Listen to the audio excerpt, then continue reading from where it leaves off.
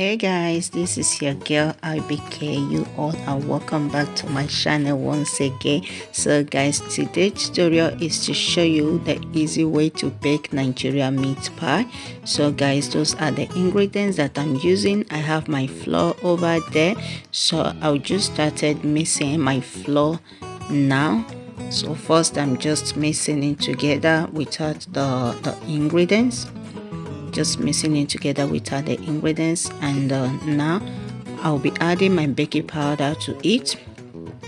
I'll just go ahead and add my baking powder to my flour.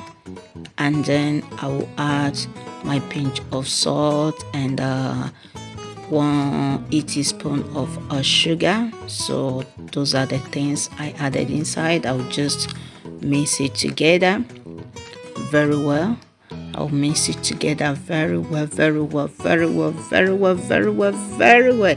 And now I'll be adding my should I'll be adding my butter to it. I'm sorry for that. I'll be adding my butter to it.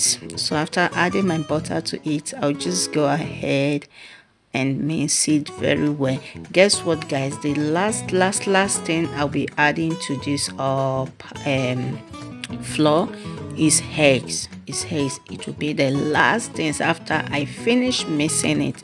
So guys that is it. I will just continue mixing and mixing and mixing and mixing and mixing. Just continue mixing it until you have that perfect mix so after a little bit i will add a little milk to it depend on individual.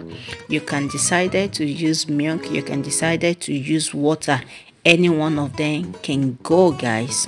So that is it. I'm just missing it i'm missing it i'm missing it. Just miss it miss it and miss it. Miss it very well so it won't have a seed later when you finish missing because some people like me i don't really like seeing my meat pie having a seed or some part that is not well well mixed. So the next thing i'll be doing now i'll just go ahead and add a little milk to it. You can add uh, water to yours. As i said before you can add water to yours. So just go ahead and add a little milk to to my to my missing flour and then I will continue missing it guys until I got that perfect missing. and the last thing I'll be adding to this floor is my hex. so guys continue watching and I hope you guys enjoy this video and I hope and I wish to see you all in my next video please guys if you really want to see the amazing turns out of this um meat pie. Watch this video to the end and you are going to like it.